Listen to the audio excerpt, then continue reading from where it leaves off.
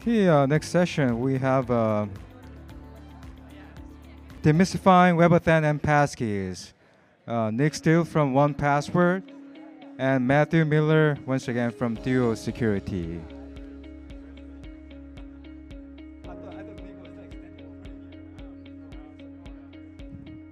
Do we have a Nick somewhere in the room? Okay, there you go.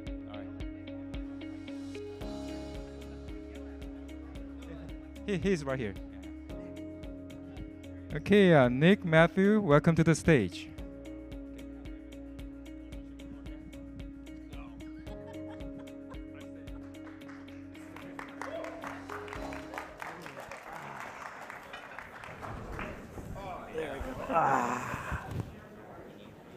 Hold on, I gotta make sure I'm mic'd up. Can you hear me okay? Yeah. Right on. Who, uh, did anyone go to Tim's talk this morning? Feel like they know what passkeys are? Right on. Anyone come to Matt's talk? All right. Well, that, that's a good question though. Who, who feels like they know what passkeys are by like the definition right now? All right. All right, that's pretty good. I'll take it. For the rest of you, we'll, we'll, you'll have a better sense of it at the end of it, hopefully. Hi, hi, hi. Hope so, hopefully. um, so, hi, I'm, um, let's see. There we go, there we go. Okay, cool. Um, I'm Nick Steele. This is Matt Miller. Um, I'm a product manager uh, over at 1Password now, and, and, and uh, if you didn't see Matt's talk earlier, he's, he's a, a technical leader over at Cisco. Um, we've been working on um, WebAuthn for, man, seven, Yeah, it's eight been a long time. Eight years now? 50 years? Um, it, it, was, it was wild when like Andrew earlier introduced, what's, or he was talking about how many hours were spent working Oh, on Fido at this 60,000 point. It's Fido, something yeah. like 60,000 seven years hours. Seven, seven years, 24 hours a day, Yeah. seven days a week. I've been putting in a lot of time, man. One year, that's mine. No. Um, so anyhow, hi, we're, we're here to talk kind of about the, um, the jargon associated with Fido and all the words and buzzword or otherwise that you'll probably hear thrown around. Um, there's, there's a lot of complexity to FIDO authentication and to passkeys and, and the WebAuthn standard. And we're here to kind of um, help demystify some of the, the technical complexity without getting too technical. Um, I love this tweet I got a while back um, because some poor guy online has, you know, assumed uh, something I tweeted about passkeys was something I, I did by myself and I was trying to ruin his life. Um, I'm not trying to ruin anyone's life, at least today. Um, but we're, we're, we're pretty far along in this, in this story. And so it's important to talk about, you know, uh, how far we've come. And we're, compared to, you know, even a year ago, um, in a much different spot with uh, FIDO keys, with authentication, with, and who's adopting it. In fact, you know, when we started working on this, um, I still have a slide deck where I, you know, was confident. I feel like that that 1Password and Dashlane and these other password managers were going to be dinosaurs. They were going to be extinct by FIDO, but they actually um, have really embraced passwordless and a lot of the new uh, standards regarding authentication that are coming out. And we've kind of shifted from being not just password managers, but to credential providers and passkey providers. Um, and you'll start hearing these terms more often, and we'll try to go through um, the differences and the nuances in some of these terms. But really, what we're trying to do is just level set, especially as we go into the next few days, of really technical content and the workshops to come on Wednesday. Um, so, as you may have seen in Tim or Matt's talk earlier, or even what Andrew was talking about the keynote this morning, um, we've started to see this, this real embracing of passwordless and passkeys and the security uh, bar that they raise for organizations. So next to Google, Apple, and Microsoft, which are these you know, pl huge platforms uh, that now offer passkeys, 1Password, Dashlane, Bitwarden, KeePass, Passbolt, um, LastPass, many other platforms are beginning to support passkey management as well. And we'll kind of talk about what the differences are between these two platforms. But all you know, to come and meet us on the credential provider side, all these relying parties, and we'll go over that term too, these online services um, have started to offer passkeys to their customers as, and, as well. And this is a short list. There's, there's more, and you may have seen them this morning. Um, additionally, in the government space, with uh, NIST 800-63 revision 4, um, we're starting to see uh, passkeys become available in, in, in government contexts. So they're going to be, uh, you're going to be able to use passkeys at an AAL2 level in some situations. And we're starting to see uh, government organizations talk about this more, which is really exciting. Um, also, in the last year or so, we've started to see uh, native APIs become uh, widely available um, by Apple and Android. Um, and then I think as of last week, by default, um, Google will, prefer, to, prefer you to use passkeys in your Google account, which is huge.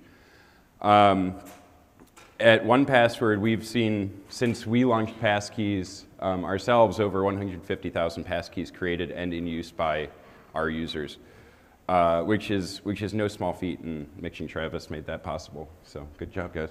Um, so that kind of covers where we're at. We're starting to see adoption. We're starting to see usage. Uh, but we're still seeing a lot of confusion in, uh, I think, across the industry around what, what passkeys um, can do what, you know, because it, it's a pretty broad definition. When can they be used? How can I use them across different platforms?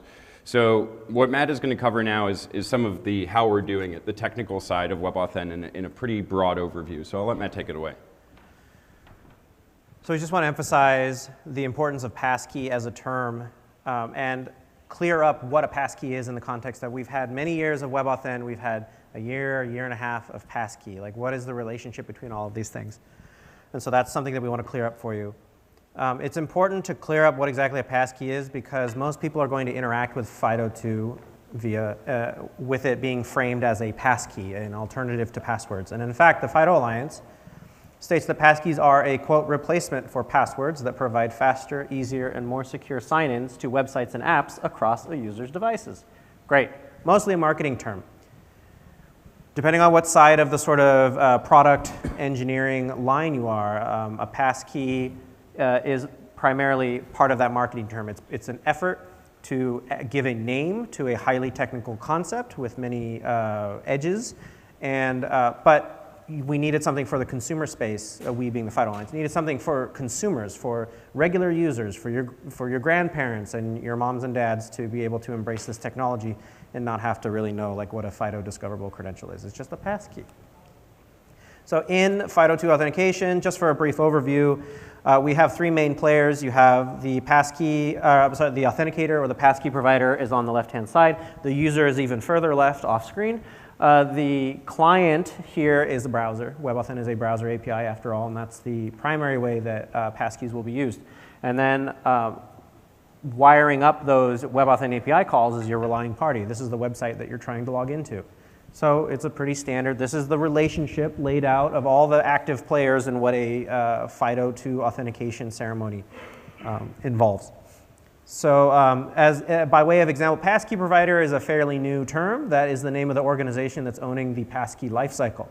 Uh, first party passkey providers are those uh, maintained by the platform maintainers, so Google Password Manager, iCloud Keychain, and Microsoft you know, via Windows Hello. Third party passkey providers are organizations like 1Password and Dashlane, Bitwarden, Enpass, LastPass, all those other third party organizations that are free to to come to the table as long as they're willing to handle uh, passkey lifecycle. So what about WebAuthn? WebAuthn is still the API that makes passkeys po uh, possible.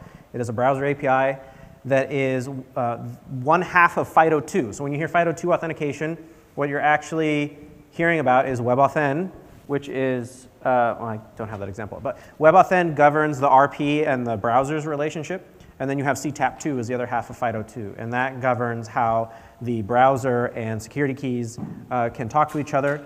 And then browsers and platform authenticators uh, may or may not use CTAP2. Most of them use uh, something, you know, they're kind of free to however they want um, to pursue that. There are aspects of CTAP2 and WebAuthn that allow for hybrid registration. Uh, hybrid registration, to clear up another term, is the QR code you see that you scan with your phone to register something on your phone or to sign in on a desktop using a credential that's available to your phone. So those are all uh, part of FIDO2 as well. Um, and again, so going back to our graph here, just to really emphasize Um, FIDO2 is comprised of CTAP2 and WebAuthn. That's the relationship between all of these. So if, peeling back the marketing layer and looking at the, the inner workings of passkey authentication, passkeys are discoverable FIDO2 credentials. The uh, attribute of a passkey that distinguishes them is the backup eligibility and their backup status. So backup eligibility is an unchangeable characteristic of a passkey at the time of creation that basically says this passkey, it is a provider communicating to a relying party whether or not the credential could appear for use on another device. That is a um, synced passkey. A device-bound passkey is one that is not backup eligible. Backup status is merely an indicator of whether or not a passkey is backed up or not. And that can change over time. Uh, as with all WebAuthn, again, passkeys is WebAuthn. And just like with WebAuthn ceremonies, passkeys also require user proximity, and you can also require UV for multi-factor authentication. Important to note that synced passkeys and device-bound passkeys hold different and nuanced security properties that uh, you're going that a relying party, most consumer relying parties probably want the account recovery because it makes their job easier. It's fewer help desk requests. Uh, it's less uh, infrastructure needed to help with account recovery because if a person drops their phone into the ocean, like Shopify, a store on Shopify shouldn't really need to know um, that and help the user recover. The user can sign into their provider again on a new device and gain access to their passkeys and they're good to go. That's the power of synced passkeys. Uh, I want to recap FIDO2 authentication real quick. Uh, passwords, so here's kind of the cons of passwords. They're symmetric secrets. Uh, they're often reused because humans have a hard time remembering multiple, uh, you know, unique passwords. That's why we use password managers. They're easily phished, uh, the, which is you know, phishing resistance of WebAuthn is to tackle that. And then um, you can, uh, an attacker can take advantage of a user account that is backed by password credentials by uh, using credential stuffing, uh, social engineering for phishing, and server leakage. If a database gets compromised, password reuse could allow an attacker to gain access to that person's account on another unrelated website. FIDO addresses all of those. Machine generated uh, private public key pairs, uh, get rid of the symmetric secret using asymmetric cryptography. Uh, pass keys are bound to a single RP, so you're not going to re reuse a pass key, a key pair um, on any website. Every website gets its own unique key pair. Their uh, FIDO credentials are also phishing resistant, of course, because the browser helps make sure that you can't exercise a credential or a pass key on a site that it wasn't registered for. And because of the user presence, the, interact, the user needs to interact with an authenticator that can use a passkey, which um, defeats uh, remote attacks.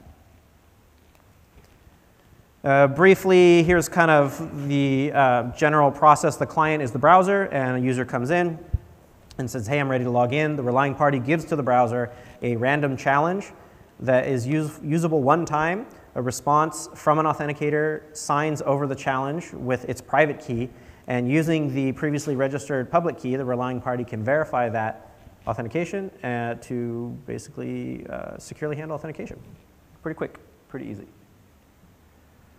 Uh, briefly, there's this concept of user presence is it gives the relying party assurance that the user has physical access to an authenticator. So this is intended to defeat remote attacks where a, an attacker can remotely use a credential in the same way that they could just use a username and a password. Uh, this provides the something you have, so the user has the authenticator, that the access device that they're using to sign in. Um, the physical action here, it's not necessarily important that uh, a biometric was scanned or a PIN was entered. It's the fact that the user is there to perform either of those that provides user presence. PIN support and biometrics provide, are, are how user verification is achieved. So you're going to hear user presence is user presence and user verification. These are the two factors that are provided in a web WebAuthn, which is why uh, passkeys are multi-factor authentication. Because the PIN support is something you know, or the biometric is something you are, and when combined with user presence, you get MFA. Uh, this, is a, this is a point I want to take a moment to really hammer home. There is no guarantee of biometric only use of WebAuthn. It is not possible. The PIN is always a possible fallback for when biometric is unavailable. Or if you want to add a biometric, how do you do that? You enter the device pin. Therefore, there's no way for an RP to only request biometric be used for user verification. And I'm going to hand it off to Nick at this point to talk more about um, synced versus device-bound passkeys. Yeah, so we kind of covered um, the security properties and the main players in, uh, in FIDO2 authentication uh, ceremonies now. And uh, we call them ceremonies because kind of, so WebAuthn compared to, say, a protocol requires user interaction. And generally what's in band for a protocol is out of band for a ceremony. There needs to be a physical interaction that gives us user verification or user presence through this PIN or biometric, as Matt was talking about earlier, um, in order to, to, to complete the ceremony. So uh, I'm going to talk a bit now about um, synced and device-bound um, passkeys, which I think is is a, is, is a really it's a really important topic now um, in the space because there's a lot of uh, different security properties you can get by uh, just these two different types of passkeys. Um, so as we mentioned before, a passkey is a discoverable credential. A discoverable credential, in a nutshell, is a credential that um, can be tied, to, tied back to an authenticator by a, uh, by a client. So when I go to log in with my, uh, with my, my 1Password account and I have a passkey stored in it, um, I'll be able to get some sort of notification, probably via a, a, a pop-up um, or, or modal attached to a input field that says, hey, we see a passkey associated with this, do you want to go use it? That, that's essentially what a discoverable credential is, or, or really like all that's need, needed about it. Um, and when a passkey um, can be uh, used across multiple, multiple devices, um, and still be discoverable across all these, these devices, that's when we have a synced passkey. So goes to follow that when a passkey can only be used from a single device, well, now we have a device-bound passkey. And so when we think about device-bound passkeys, we're, we're generally talking about, um, you know, FATN tokens, YubiKeys, um, RSA tokens that can be tied, that, where, where a credential is tied specifically to that piece of hardware. Um, this may change, and this can change. There, you could have a passkey provider uh, that potentially binds a key to a single laptop or, or phone that it exists on. Um, but for now, that's, that's kind of a, a, general good way of thinking about it is it's, it's a standalone piece of hardware capable of storing passkeys. Um, this is a, uh, a, diagram that was originally made by Dean Saxe from AWS, uh, good friend and great engineer. Um, this, uh, this kind of covers uh, the, the, the Venn of what, of what we get with, with discoverable credentials as a whole. So uh, both device-bound and sync passkeys can, can be discoverable um, to a point, but device-bound tend to be non-discoverable, so you won't get that modal in some cases. Um, but they share a lot of really good overlapping properties, and we kind of talked about those with the FIDO in a nutshell slide when we were talking about what you get with, uh, with FIDO authentication and why it raises uh, the security bar against pass passwords. So passkeys, um, or WebAuthn credentials, as uh, you know, we used to call them, um, are still cryptographic key, key pairs, um, where the private key is going to be stored um, within a passkey provider or on an authenticator. Um, it, they're still phishing resistant, and they still can be used, be used for, for MFA. And, uh, and they're, they're bound to a single site. So they're, they're origin bound. A passkey made for example.com can only be used on example.com. However, there are some, some, some differences between the two. So when we talk about a sync passkey, right, they're shareable. So that uh, key material, the private key associated uh, with the public key in, uh, that, that, makes up this passkey is exportable. I can have a, uh, a, instance of one, my 1Password vault on my phone and one on my uh, laptop, and I will be able to receive or use the passkey across both devices without using hybrid authentication, which is a topic we'll, we'll discuss towards the end here. Um, additionally, with sync passkeys, um, I can share them. Um, I can airdrop my passkey to another user, uh, or, or, in the case of on, on an iPhone, someone within my contact list. Um, and generally, credential recovery is a much easier process. This was a terribly hard story to tell uh, when we were first working on WebAuthn, uh, figuring out how we would, say, uh, handle recovery on behalf of a user, or if a, if, if a user loses their device, how do we securely create a new passkey, or uh, I, I, think the, the biggest piece of advice we had initially was, oh, you should enroll many, many authenticators to a single site in order to deal with this. Um, but this is a much more elegant solution, I'd say, is being able to have this passkey syncable across many devices. Um, on the device-bound side, um, non-exportable key material is really the big, the big thing here. Being able to have a, a key that can only exist in one place uh, is really important for some organizations, especially high assurance organizations. I talked about that idea of being AAL2, Authenticator Assurance Level 2 with a NIST.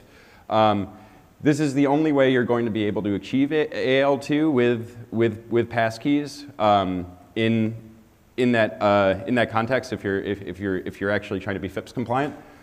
Um, and also both these, uh, these types of credentials and uh, non-discoverable credentials as well are attestable. And we won't talk too much about attestation because this is a, a, another uh, deep Darby Dragons uh, topic, but attestation uh, is essentially a way for us to tell the provenance of a passkey uh, by a certain piece of hardware. So uh, if I receive a passkey from a, from a, a YubiKey or from, um, from Apple, I should be able to receive a attestation that gives me cryptographic proof that this piece of hardware or this laptop, this uh, passkey provider, uh, they can prove to me that they created the passkey in question. So as an organization, I can have some insight into the uh, authenticator that was used and if I choose to trust it or not, because there, there may be a case where the, I, I, want a higher, uh, I want higher assurance in the authenticator I was using.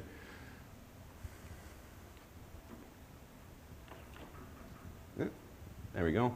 Um, so I really want to drive home that you know sync, sync passkeys are probably going to be the most common form of passkey used as opposed to device-bound passkeys for average consumers. Um, and that these, these passkeys are really built to be backed up and synchronized and used across many devices.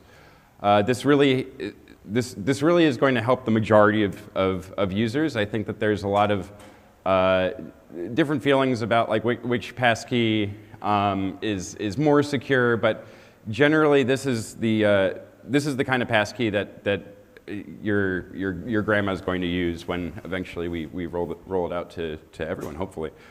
Um, to touch on, on a point Matt made earlier, um, and I was talking about passkey providers, it doesn't necessarily need to be a platform. It could be um, a, a, password manager or now a credential manager um, or other third-party software that's, that's capable of managing and storing pass, passkeys. Um, what these providers need to main, uh, maintain and, and their sort of uh, trust uh, value here is by providing a passkey sync fabric. And the sync fabric is something that is currently uh, being worked on, on, on getting certified within the FIDO Alliance. Um, but it's, it, it's, going, it, it's going to allow us to pass passkeys uh, back and forth in a trustful way. So in order to tell what you got, um, we, we talked about that idea of, uh, of attestability. That's still probably the best way. Many, most passkey providers are going to provide an AA GUID um, to, when an RP, or to an RP that will give it unattested proof um, of who it is. So you, this is really good for UX hint, hinting. Uh, you can still request attestation, but this is often returned mostly by security keys only. Um, there's other forms of attestation. It changes by device. And then um, there's also additional signals you can use to figure out what kind of passkey you've been given, sync, device bound, um, using other signals uh, from the response. So the user agent transports, the, transports or the client data that you receive back. Um, all this can be used to help make UX decisions and uh, infer other uh, provider identity uh, signal. So I touched on hybrid authentication. Hybrid authentication allows for passkeys, device-bound passkeys, to be used to authenticate on a separate device. So the device with the passkey will generate, uh, the, the, the device with the, with the passkey will generate the WebAuthn response, and the client will hand back the, the, uh, the request. Uh, so that allows us to, uh, to have, use device-bound passkeys across not just you know, the device it's on and, and, and use it potentially on other devices. So this works in Chrome um, today on, on iOS and, and uh, through OS X and iOS as well. Um, so just some quick things um, about that are that, about FIDO that's being worked on right now that, that can be tough and, and are kind of like pain points that I see. Um, passkeys right now can be used to define most types of FIDO credentials, and this is also um, a bit dodgy because this means that there are many, there are many types of FIDO credentials, but they're all under, under the umbrella of, of, of passkeys.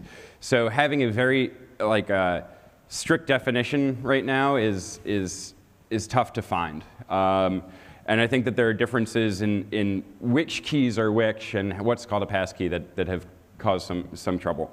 Um, more passkey providers are becoming available, but uh, many providers right now have to intercept WebAuthn APIs, uh, or Web, the WebAuthn API calls that, you, that we're getting in the browser, which can be tough. And there isn't really an easy solution to this problem right now, but we're, we're definitely working towards one. Um, some passkeys can be synced across devices, the syncable passkeys, and this is great for uh, recovery. Um, it really helps tell that account recovery story. But this is a potential showstopper if you are in a regulated space where you need higher assurance. And this is an ongoing discussion as well. So I'm going to um, hand this off to Matt to finish this off. Unfortunately, we are out of time, so I'm going to jump ahead a little bit here. Yeah. Uh, passkeys.dev, if you want more dev-centric, uh, there's a uh, fantastic terminology section on there. WebAuthn.io is a great place. It's a sandbox for you to take WebAuthn for a spin under all kinds of various configurations that are possible on there. Nick and I are co-chairs of the WebAuthn Adoption Community Group at the W3C. Uh, that is open to anyone to come and join and ask questions. We meet uh, every other week. And then uh, for like C levels, I characterize it here, but for more of that marketing side of what passkeys are, the FidoAlliance.org slash passkeys is a great resource. So thank you very much for your time. Yeah. We'll Appreciate be in the hallway too. Yeah. We have time? Would, would you like to take, just take one question from online? We can take one question. Yeah, yeah. Let's, let's, Make it let me good. just wait for it. Uh, is there a way to for us to differentiate between synced and device-bound passkeys, or should I, as a developer, assume all passkeys may potentially become synced passkeys? There is a definitive signal that a relying party developer can use to identify synced passkeys from device-bound passkeys. It is called the BE, the backup eligibility flag, in the authenticator data that you get back um, during, during registration and authentication will um, assert the provider's uh, knowledge of the backup eligibility of a credential. Yeah, we have nine more questions, but hope you can. Oh. Well, we'll, we can answer and- questions in the yeah. hallway, and, Yes, and yeah. also we're happy to follow up with, with those online. Thank you very much. Thank you, Nick. All right. Thank you. Thank you, Matthew. everyone.